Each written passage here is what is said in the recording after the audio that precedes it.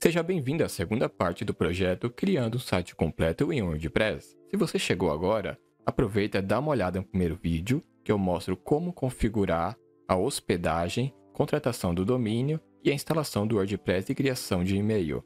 Tudo isso na hospedagem da Napoleon. Eu estou utilizando o plano Start de R$ 29,90, mas ele tem a opção de teste de 7 dias grátis quando você fizer login e acessar o seu painel da Napoleon. Vamos continuar aqui a segunda parte. A segunda parte é referente a tema e plugins para usar um blog WordPress. O tema que eu vou utilizar é esse daqui, Ocean WP.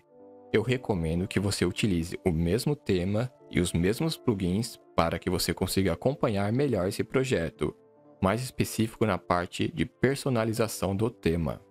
Então vamos lá. Vou no meu WordPress, pesquisar este tema.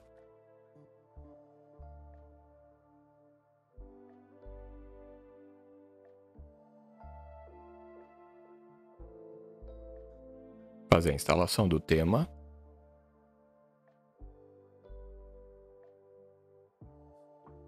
E ativar.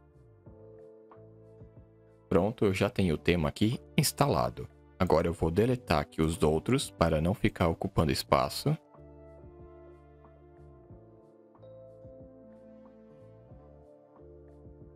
E assim eu fico somente com o tema que eu vou precisar.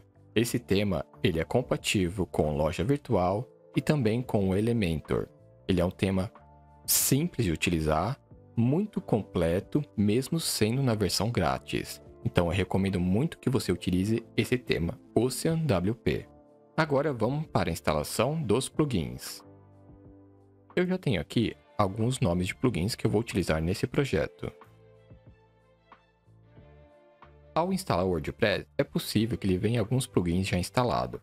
Eu vou excluir o que eu não vou utilizar. E agora pesquisar o nome do que eu vou utilizar e instalar. O primeiro plugin é referente a backup no próprio WordPress, que também é muito útil para fazer migração.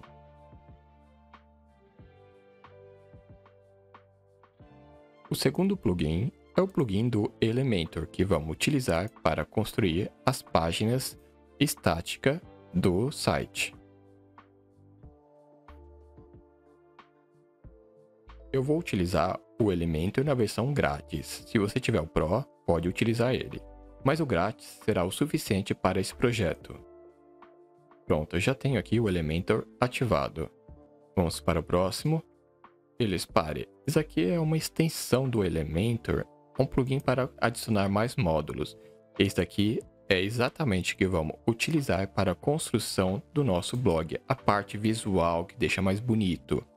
Selecionando categorias, selecionando últimos posts, algo que vai deixar bem bonito o teu blog.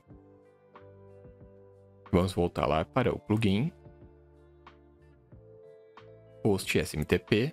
Isso aqui é para poder fazer envio de e-mail. Alguns plugins vão ter que ser configurados depois. Por enquanto eu só vou instalar.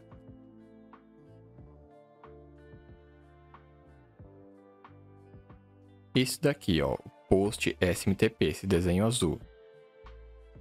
Voltar lá para os plugins. Vamos para o próximo.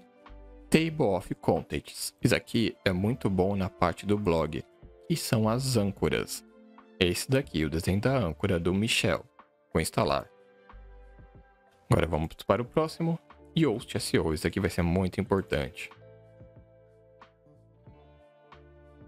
A maioria desses plugins vão precisar de uma configuração depois. Por enquanto é só a parte de instalação. Pode parecer que são muitos plugins, mas eles são muito necessários para este blog.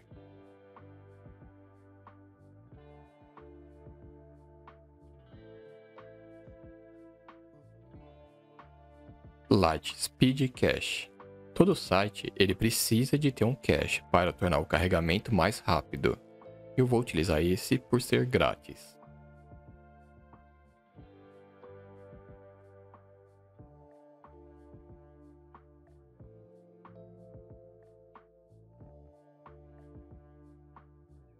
Login Limite. Esse plugin ele vai ser muito importante para limitar a quantidade de tentativas de login no painel administrativo. Se alguém tentar mais de três vezes, ele vai bloquear o IP da pessoa ou o acesso ao site temporariamente até passar um certo tempo para tentar novamente. Isso ajuda muito na segurança do site.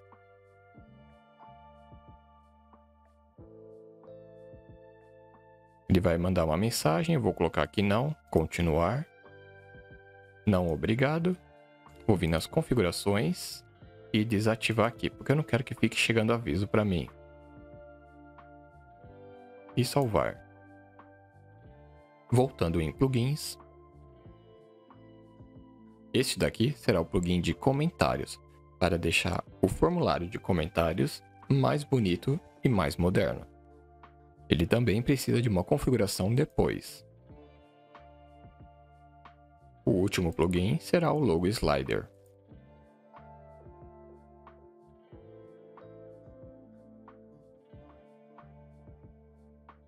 Com esse plugin de Logo Slider, eu vou fazer um carrossel de imagens que permite eu colocar a imagem, título e também link, que ao apertar na imagem, eu posso colocar um link que vai redirecionar para algum lugar. Ele é muito útil para você que vai revender alguma coisa ou vai indicar algo. E pronto, eu já tenho todos os plugins instalados. Agora eu vou vir aqui na opção de Post SMTP, Dashboard. Eu vou fazer um teste se ele já está funcionando sem autenticação. Existem hospedagem que permite e outras não permite utilizar sem autenticação. Vamos ver. Essa hospedagem aqui não permite, então eu vou ter que autenticar o formulário de e-mail. Então vou vir aqui em Start Wizard. Eu vou colocar aqui o nome.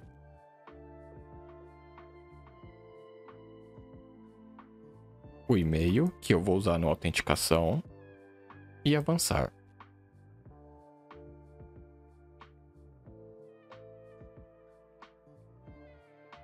Vamos avançar novamente.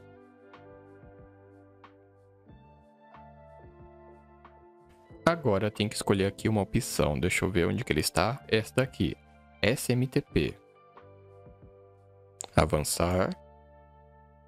E avançar. Finalizar. Agora eu vou fazer o teste se ele conseguiu fazer a autenticação.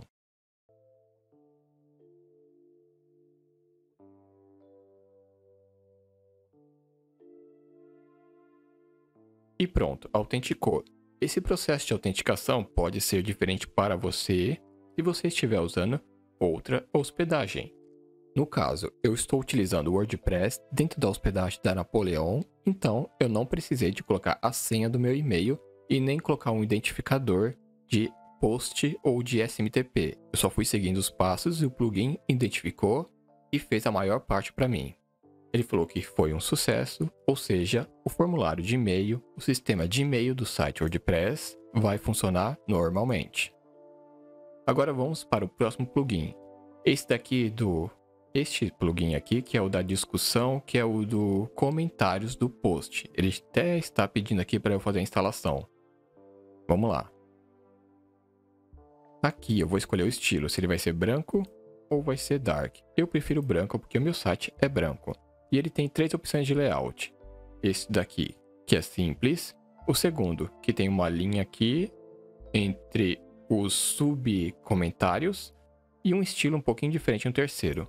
O terceiro, ele é bem mais bonito. Repara que tem umas linhas aqui, tem uma caixa. Ele é bem mais agradável. Então eu vou marcar aqui que é o terceiro e avançar. Eu vou desabilitar esse botão porque ele não é necessário. Aqui eu vou deixar exatamente como está e finalizar. Existem muito mais configurações nesse plugin, só que eu não vou mostrar agora. Se você quiser saber mais sobre as configurações de todos esse ou a maioria, o link vai estar aqui na descrição. E essa foi a segunda parte do projeto de criando um blog completo em WordPress. No próximo vídeo, eu vou falar sobre criação de categoria, páginas, menus e os widgets. Então, te vejo no próximo vídeo.